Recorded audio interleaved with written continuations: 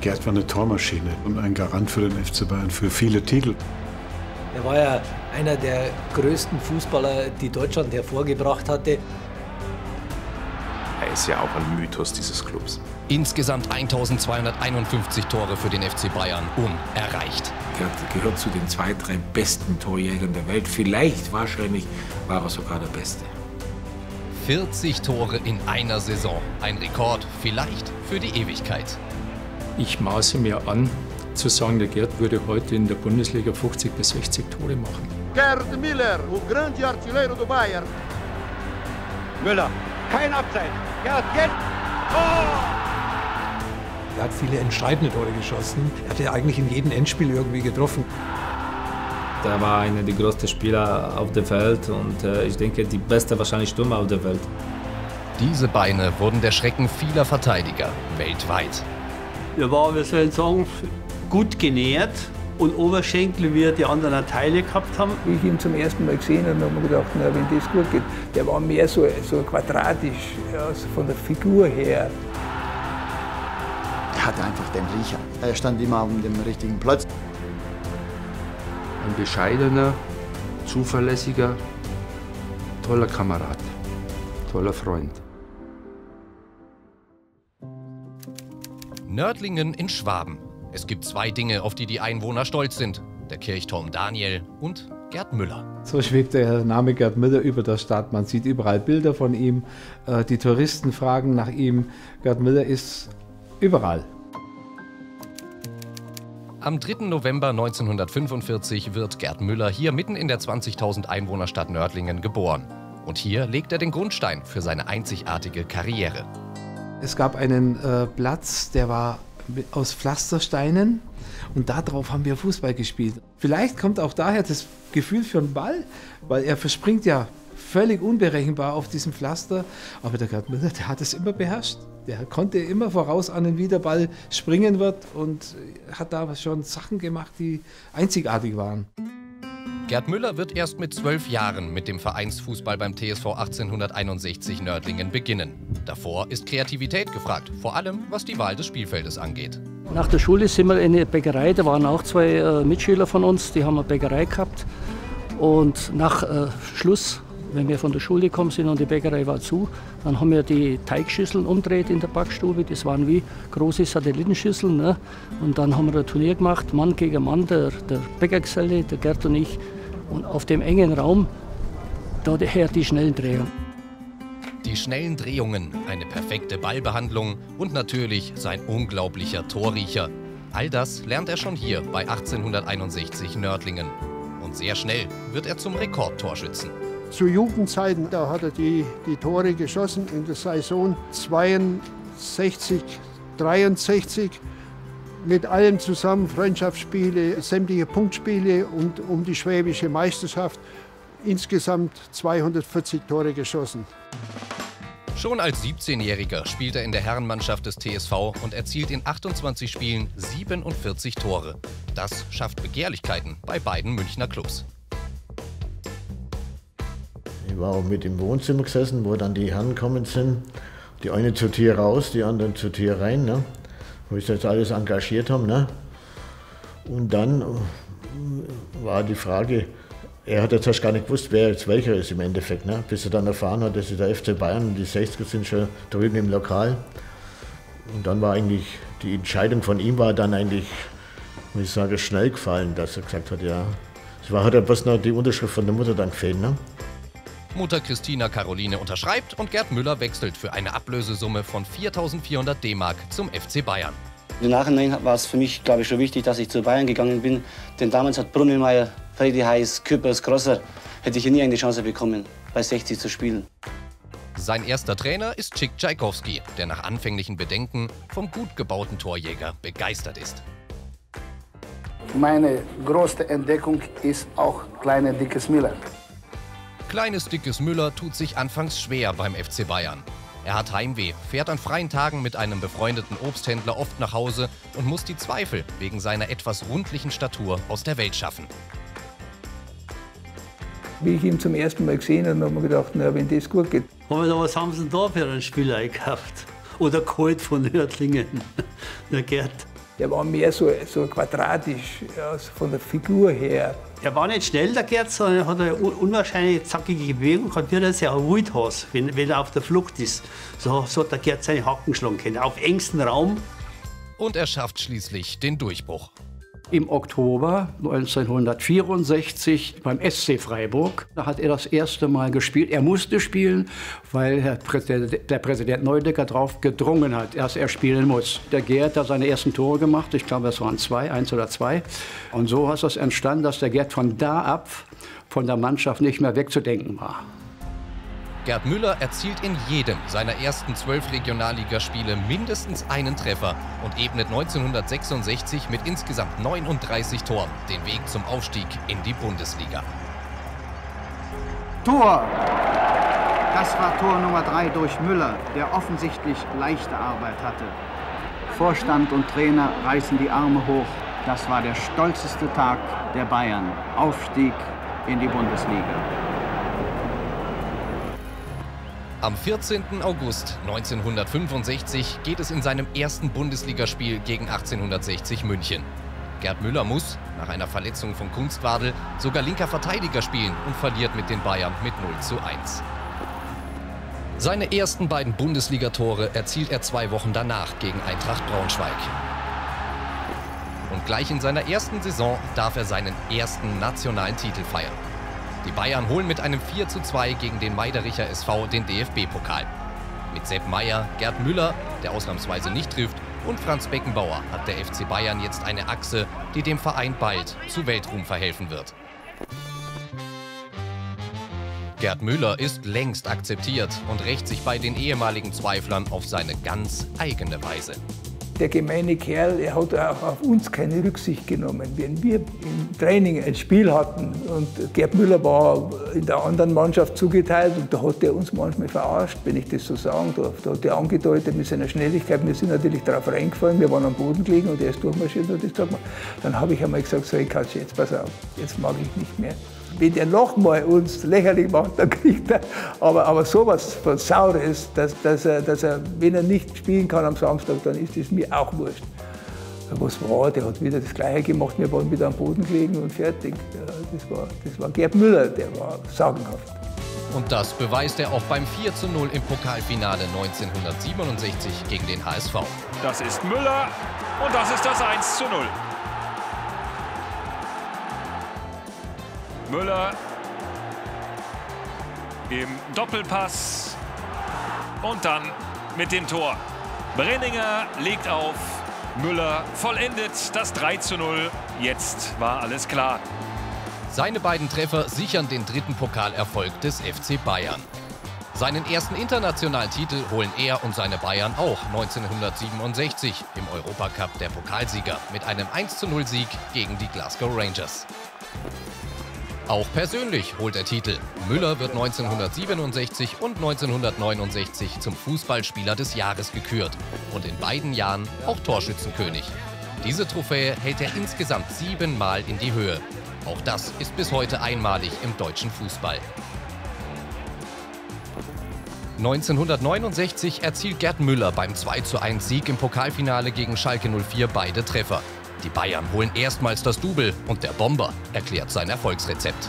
Du musst als Mittelstürmer immer schauen, der Gegenspieler oder, oder reagierst du schneller als der andere und, und vor allen Dingen, du musst die Nase haben, dass der Ball nur kommt. Das kannst du nicht lange. Das hast oder hast du es nicht. Gerd Müller gewinnt in seiner Zeit beim FC Bayern insgesamt 13 Titel und wird 18 Mal Torschützenkönig in verschiedenen Wettbewerben.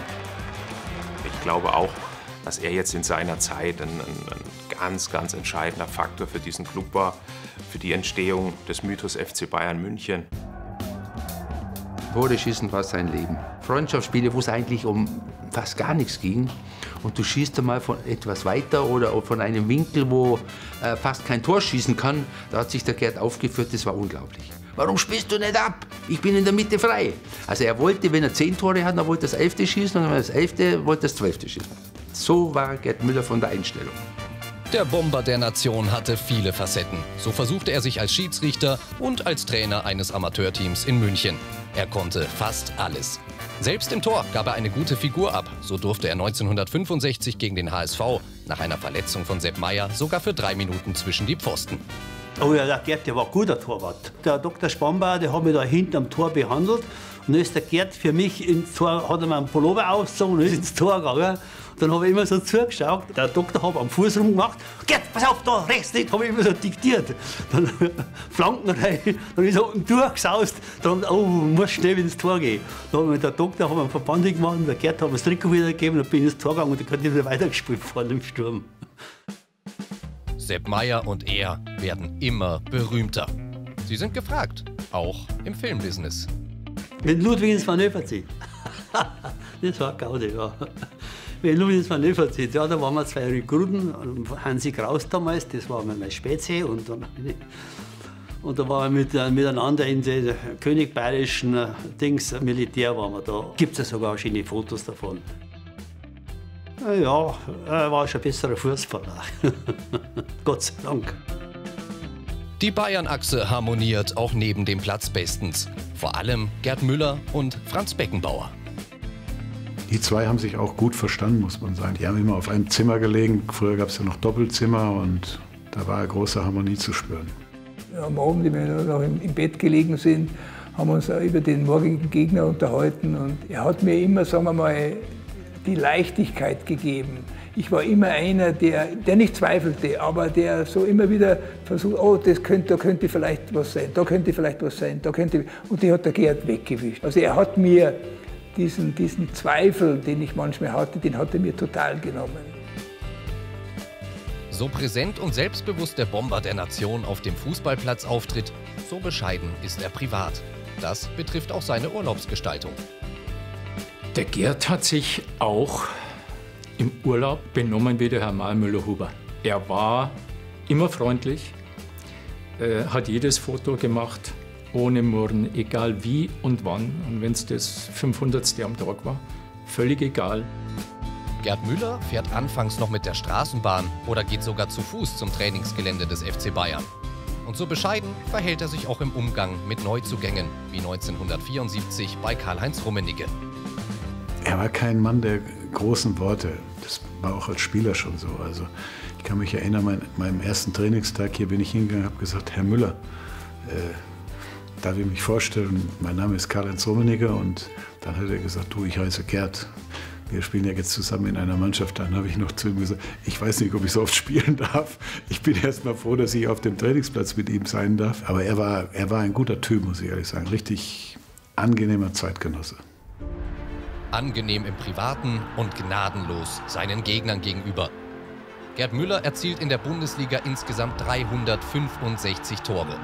Vier davon im November 1971 beim 11:1 gegen Borussia Dortmund. Am Ende dieser Saison erzielt er 40 Tore. Ein Rekord, den selbst Stürmer wie Robert Lewandowski bisher nicht knacken können.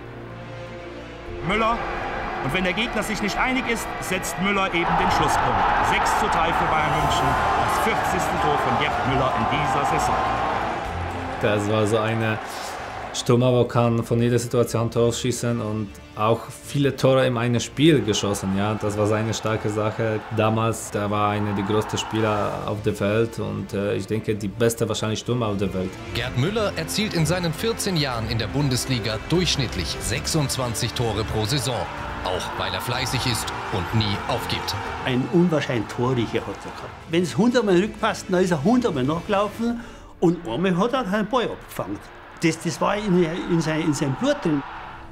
Gerd Müller wird siebenmal Torschützenkönig der Bundesliga, viermal im Europacup der Landesmeister, zweimal wird er Europas Torschütze des Jahres und 1970 mit zehn Treffern sogar WM-Torschützenkönig.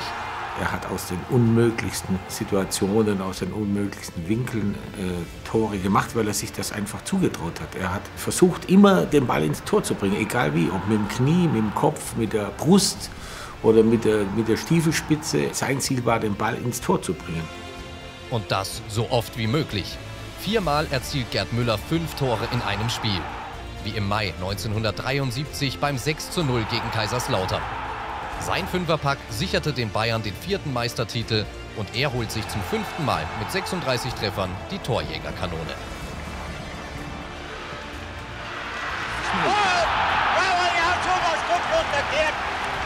Der Gerd ist ein einmaliger Bruder. Einmalig. Bravo! Ja, der Müller, Gerd. Der ist, halt, der ist reif für den goldenen Schuh. Gerd war ein Phänomen auf dem Platz. Ich habe nie einen Mittelstürmer gesehen, der sich besser freigelaufen hat als Gerd Müller. Was Gerd immer gemacht hat und was eigentlich die größte Kunst war in seinen ganzen Toren war, er hat nie geknallt, er hat immer nur geschoben. Der 17.05.1974. Gerd Müller und seine Bayern treten nach einem 1:1 zwei Tage zuvor zum Wiederholungsspiel im Finale des Europacups der Landesmeister gegen Atletico Madrid an. Es wird eine Machtdemonstration der Bayern. Vor allem wegen Uli Hoeneß und Gerd Müller, die beim 4-0-Triumph je zweimal trafen. Müller, kein Abseits. Gerd, Gerd. Der Gerd hat Künstlertore gemacht, die nur er machen konnte. Den, einmal den Ball über den gegnerischen Torwart gelupft. Das hätte ich nie gekonnt. Also Gerd hat das einfach probiert. Mit insgesamt neun Toren von Gerd Müller gewinnen die Bayern erstmals den Europacup der Landesmeister. 1975 und 76 wiederholen sie dieses Kunststück. Der Bomber trifft jeweils fünfmal. 1976 gewinnen die Bayern zum ersten Mal den Weltpokal gegen Belo Horizonte mit einem Tor von Gerd Müller. Aber den wichtigsten Treffer seiner Karriere erzielt er im WM-Finale 1974 gegen Holland. Der Ball auf Müller, der dreht sich um die Einachse, schießt und Tor! Tor durch Gerd Müller! Das Tor bei der Weltmeisterschaft 1974, das war so typisch Gerd Müller, unberechenbar und aus jeder Situation irgendwas machen. 1979 folgt Gerd Müller seinem Freund Franz Beckenbauer in die USA und wechselt zu den Fort Lauderdale Strikers nach Florida. Mir läuft es sehr gut in der Mannschaft und die Harmonie ist gut. Und das Wetter ist auch immer sehr schön. Unter der Sonne Floridas findet auch das Spiel von Gerd Müllers Team gegen New York Cosmos, der neuen Übermannschaft mit Franz Beckenbauer und Pelé im amerikanischen Fußball statt. Gerd Müller erzielt zwar ein typisches Tor, aber Beckenbauers Team gewinnt, auch wenn Gerd Müller noch einen Elfmeter rausholt. Wenn man verliert, ist immer blöd, aber Er kann zufrieden sein, hat einen Elfmeter rausgeschunden in seiner und hat ein Tor gemacht. Aber so. 1981 beendet Gerd Müller mit 38 Toren in 71 Spielen seine Zeit in Fort Lauderdale und kehrt 1992 zum FC Bayern zurück. Gerd war erst A-Jugendtrainer und dann später Assistent von Hermann Gerland und das war ein Glücksgriff.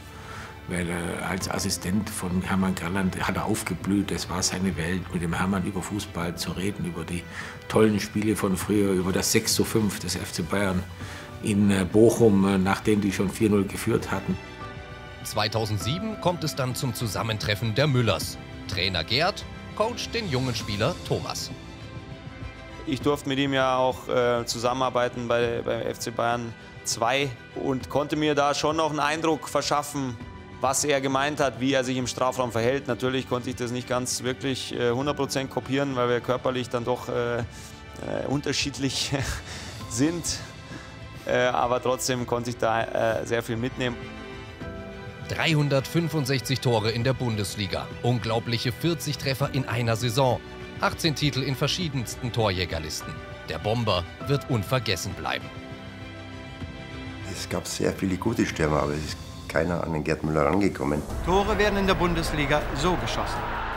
Großartig gemacht, das ist der alte Gerd Müller, wie er sich so durcharbeitet. Durch seine Tore hat er natürlich viele, viele Titel ermöglicht. Gerd Müller ebnet den Bayern den Weg zum ersten Weltpokaltitel. Er war sowas von gierig auf Tore, das habe ich überhaupt noch nie, habe ich nie gesehen. Lieber Gerd Müller, ich habe die Ehre, ihn heute zum Fußballspieler des Jahres zu gratulieren. Ich kann mir schon gut vorstellen, wie es schön gewesen wäre, neben Gerd Müller zu spielen. Gerd war vielleicht nicht der beste Spieler, aber er war der wichtigste. Müller. Das kann man auch nicht in Worte beschreiben, was der Gerd Müller für den FC Bayern geleistet hat. Für mich wird, solange ich atmen kann, solange ich lebe, wird der Gerd ganz oben sein. Sie hatten ja, Gott sei Dank, den Bomber der Nation. Sie hatten ja Gerd Müller. Er hat eine, ein Reaktionsvermögen gehabt, wie wahrscheinlich äh, kein zweiter Mittelstürmer auf der Welt. Ohne seine Tore, ohne seine Rekorde wäre der FC Bayern nicht da, und wo er heute ist. Deswegen äh, vielen Dank dafür. Lieber Gerd, ich würde mir wünschen, dass du all die Glückwünsche mitkriegen könntest, die dir heute widerfahren. Denn an so einem Geburtstag wie deinem 75. würdest du erstmal feststellen, welch großartiger Spieler, aber auch Mensch du warst. Und das würden alle, die damit zu tun haben, dir heute gerne sagen.